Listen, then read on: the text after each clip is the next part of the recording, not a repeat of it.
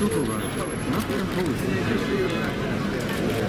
Hey, Mr. Supervisor. Bring the chance to front right there. That's great. Right there. Straight ahead, sir, please. The other hand.